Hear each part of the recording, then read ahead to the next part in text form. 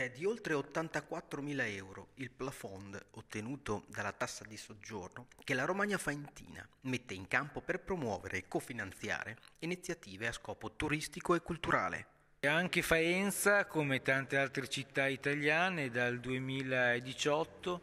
riuscirà a cofinanziare tanti eventi che si svilupperanno nel nostro centro storico, nello spazio urbano più generale, eh, attraverso la tassa di soggiorno. Una parte della tassa di soggiorno del 2018 infatti sarà utilizzata per cofinanziare progetti di natura culturale, turistica,